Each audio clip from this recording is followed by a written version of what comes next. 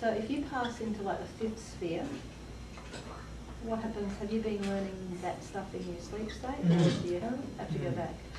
Yeah. Yeah, so if you, if you develop yourself now on Earth to the fifth sphere condition before you pass, then in your sleep state, every, you have a house already in the fifth mm-hmm. sphere. And, and you'll remember it actually once you, once you go there. You'll actually remember all of your sleep state Really? things, all the things. Oh, the dreams? Uh, they're not dreams, they're actually reality. They're actually experiences that you have in your sleep state, in, in out of body. And you will remember every one of them. But dreams are something different. Well, it, like I said last night, there is sort of like, there's two types of dreams. One type of dream is the actual reality of the experience in the sleep state. The other type of dream, which is mostly connected with emotions, is to tell you about the emotions you are not dealing with in the awake state, that you need to be dealing with. And, and where do those, those sort of dreams come from? The soul or the mind? All of the dreams about that are emotional come from a, usually a collection of places.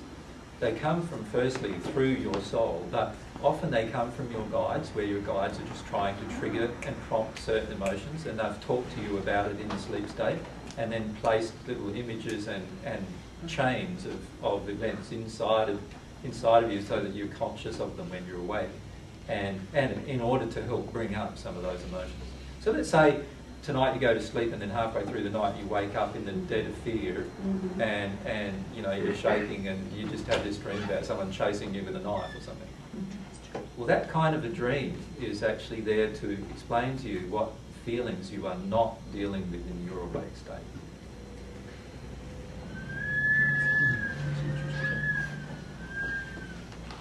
I feel foolish, but that's something else I have to work on. Yeah. I'm working. All right. So, so often through the night, I, sometimes I wake up and the bed is just soaking. Other times it's slightly damp, whatever. I'm, I'm, all right, what is happening in that state? Am I releasing a lot of anxiety and fear? Boy, I wish I brought my guitar.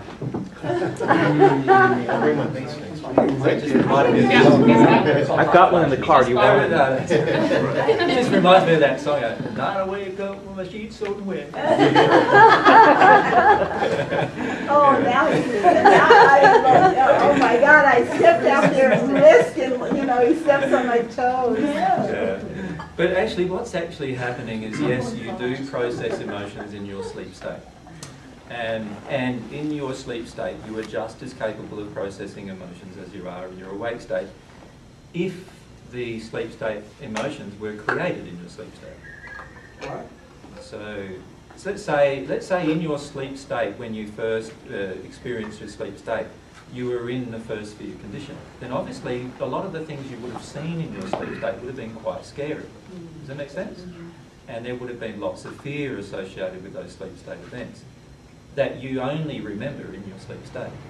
And yes, you will actually process them in your sleep state as well. You will release them emotionally once you set your intention to deal with your emotions. You will release them emotionally in the sleep state. The often the sleep state and awake state uh, emotions are very similar though. Often we have some deep fears in the awake state as well that we are refusing to acknowledge. And so usually when we're doing things like waking up in a sweat or you know waking up with the bed sheets wet from a, from you know perspiration or whatever, that's a good indication that we're actually ignoring some awake state emotions as well.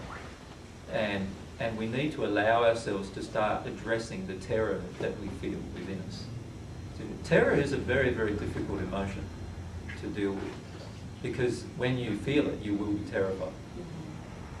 When you experience it, you will feel terrified. And so it's a very difficult emotion for most people to, to allow themselves to go into. But it is an emotion, just like all other emotions, that does need to be released by experience.